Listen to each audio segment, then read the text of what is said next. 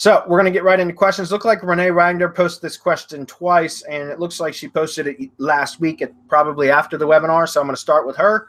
She says, "Does ranking videos for local businesses in Google using YouTube and selling the leads to local businesses still work well in 2019?" Yeah, it can. The, the thing about ranking local videos for leads is they don't convert typically as well as like having a maps listing would. Uh, they can, don't get me wrong, depending on the, the message and if it's a compelling uh, video and that kind of stuff also, ranking videos, you can still do it. Um, you know, but I, I also recommend that you learn how to use YouTube ads because YouTube ads, you can get significant, like really targeted traffic from the very specific areas. Like set, you can set your geographic targeting, and and a lot. There's so many targeting options as far as audience targeting inside YouTube now, or the Google Ads platform for video, um, that you can get really good results without and and and as a byproduct of having a video that is targeted and getting targeted views from people that are within a specific geographic area that are known to Google to be in the market or interested in that particular product or service, those are heavily weighted views. And as a byproduct of that, the video will often rank. So you again, this has been a, a trick up my sleeve for years now, um, but it's gotten better and better recently and that's using YouTube ads to actually rank the video. And so if you know video SEO, you still apply all of the SEO methods to the video as well as the channel. You can still do off-page SEO stuff, but the, the, the magic, the, the real magic is using YouTube ads to run locally relevant local relevant traffic to it because it's not just about the traffic either. You'll actually get engagement and clicks back, you know, clicks to your offer or clicks to the landing page or leads for local businesses, you'll actually get real traffic and real leads from a properly set up YouTube ads campaign. And um, correct me if I'm wrong, Adam, but isn't that training available as an order bump for the battle plan? Not gonna lie, I was looking at a, a spreadsheet and I missed the first part of that. The uh, YouTube ads training I did for local videos. Yep. Yeah, you can get that if you buy the battle plan on checkout. Uh, it's the killer ads uh, for local uh, uh order bump. Yeah. So I would recommend you look into that. It is still a strategy that works. Um, for the longest time, I've for years now, guys, like five five years now, I've been ranking videos or doing video SEO, selling a video uh, wholesale video SEO services to a local video production company that creates videos for local businesses. And they would always just create the videos and then, you know, sell them uh, the, the the client, their customers, they would sell them the video, and the, the customers would put them on their website, maybe post them to Facebook, put them on their YouTube channel, but they never were getting leads from them or ranking them in Google. Well, for about five years now, I've provided wholesale SEO services to that company. So the company handles the sales, then they upsell my service to the client or the customer, and so they actually they make uh, they make a you know money off of my SEO service every month, and that way I don't have to deal with the customers and all that kind of stuff. All I do is provide reporting. However, with just in the last six months or so, I've actually went back to them, you know, after four and a half years or so of just providing wholesale SEO services, and I said, look, I'm not going to provide the SEO service anymore. I'm going to provide local ads. Like I'm going to set up ad campaigns for the ad for the videos eh, because I can guarantee traffic that way. I, I can't guarantee traffic or leads or clicks or anything from ranking in Google, and I can't guarantee rankings either. I've, I mean, I've always done that. I've always said, look, if it doesn't rank, then you know uh, I don't refund the money, but I won't. You know, we can cancel service. There's always been cancel anytime. I don't ever put them on contract, and I've always been successful at ranking them anyways. But I I can guarantee traffic and and uh, you know clicks through to the through the um, to the website or the, des- the landing page, whatever the destination or target URL is within the call to action of the video. I can guarantee that with ads. And so, and then I tell them, look, you can still tell them uh, your your customers as a byproduct of a well optimized video and a well optimized ads campaign, it's likely going to rank anyways. And so we'll I still apply the SEO techniques to the videos, but I set up the ads campaign now. And I set what's also cool about that is the reporting is so much better. So I can provide the the I provide the the video production company with the reports that then they send off to their their customers or their clients. But the reporting is so much more uh, detailed. It's so much more accurate because I can show where exactly the clicks are coming from. If you go into ads and you look and you go into um, the ad group and then you go into locations, you can pull locations reports and you can do it by zip code or by city or by county and things like that. So I can literally show where the views are coming from specifically. So my targeting can be extremely tight and I can show that, hey, this is only local people looking at the video. I can also show the audience targeting options. I can show the demographics. I can show incredible amount of detail as to where the traffic and clicks are coming from from the ad campaign, which you couldn't do with regular YouTube analytics or with just a rank report, if that makes sense. So, and again, you know, 95% of the time, the video is going to rank because of a proper uh, YouTube targeting campaign because of the traffic and the engagement is both geographically and topically. So it's a super powerful strategy, guys, and I covered it in a webinar that's available, like I said, as part of the um, order bump for the battle plan. All right, that's a great question, though. Alex is up. So oh, go, if, go ahead. If I may, ran a test just to see because this is interesting. We we ran a test over a two or three week period, and we ran embeds and and link building tests to see what kind of action that would do. And interestingly enough, that still it not only moves the needle, it has a great effect on videos, and it ha- and and once they start hitting the first page, and they move towards the top, you can start seeing the people start coming through to the channel and subscribing and liking and sharing and doing all of the things that a video needs in order for YouTube and Google to keep giving it love. So there's two things at play here, right? If you hit the top spot, you're going to get traffic if and now here's a caveat. The the video has to be engaging enough for for people, for real people to take action, uh, to like it, to share it or or to to to, you know, to give you that, that that thumbs down in YouTube and, and comments and, and everything else. So there's there's two ways to, to do this. Both ways are still viable.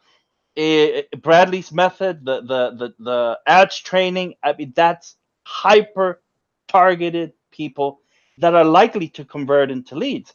Now, uh, the other method, when you're doing the the embeds and, and the link building, what you're going to get is you're going to get a, a more general viewership and and so uh, you're going to need more in order to get the, the, the leads that you could generate through uh, the video ads course.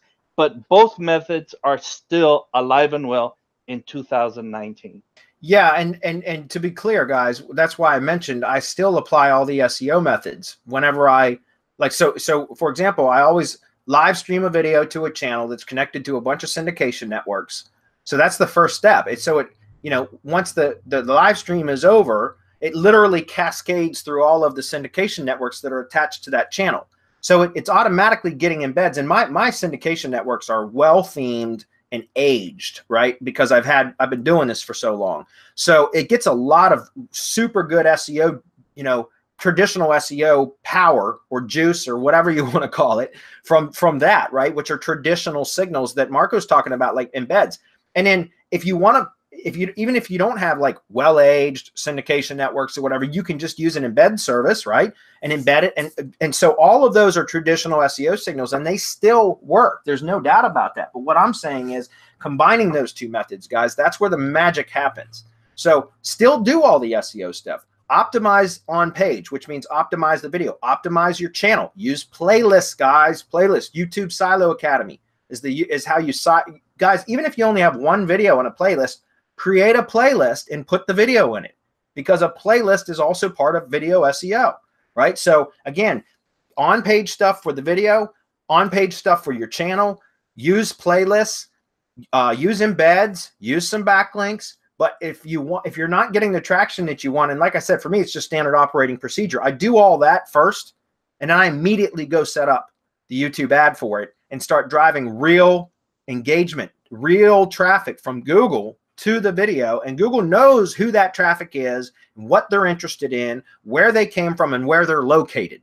And so it's super engaged or uh, super targeted traffic, which is highly weighted traffic by Google. And that's the magic that really kind of helps all that SEO work just it just flourishes, right? It just works. Everything comes surfacing and it's just it's it's like almost um it's almost guaranteed. Again, I don't guarantee rankings now uh, for uh, you know I tell them if if it doesn't rank they don't have to pay me and you know we, we'll cancel it but I do guarantee uh, views and clicks because I, I can't guarantee a certain number of clicks, but I can guarantee targeted views because I can buy those views directly from Google.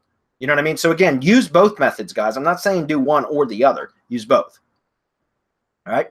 Alex is up. He says, "Hey guys, I am ranking. Uh, yeah, I'm ranking in the three pack and have a couple of five star reviews. The GMB Insight shows around 450 views per month, but the calls are around five to eight per month. Is there a reason why it might be getting so few phone calls? Could you explain some common mistakes that lead to that? Thank you." Yeah, Alex. Um, it could be many things. Like first of all, what is your message? Is is do you have a compelling call to action? Right. So what are your calls to action? Um, what are the images. Where are you sending people by the way? Like for example if if there if your call to action is to click the button in the post and go to a landing page or wherever you're sending them where where are you sending them? If you're sending them to just the homepage of a website that's not set up for lead capture or conversions then it could be that you're losing them there. Um, it could be that you know if you're just using the call buttons then you could be losing traffic from desktop searches because people aren't clicking the call button from desktop search and they're not going to and, and some people won't go actually click through to the website or go do another search for it. I mean there's a number of things that could be it. I would say that typically if you're getting a lot of exposure but you're not getting a lot of calls or leads then i would look at your calls to action what your offer is and where you're directing the traffic to if it's a click through as opposed to just a call uh, call conversion goal right so again, if it because and, and also in your posts, if you're doing posts regularly, which you should be, you know, use some images that are relevant to the industry. Because I know a lot of people that use stock images in their GMB posts, guys, and those are, you know, people are almost blind to that, right? They they they almost are numb to a lot of stock images. So try to get original images from the client if possible. Um, also, just relevant images. I talk about how to do that from YouTube, and you can also local images, which is more for SEO purposes. We talk about that in some of our training. Can't talk about that here, but that's what that. Those are some of the things that I would recommend. Marco, what do you say? I say that that that's just about right with 450 views. Uh, about you know it's between two and ten calls a month.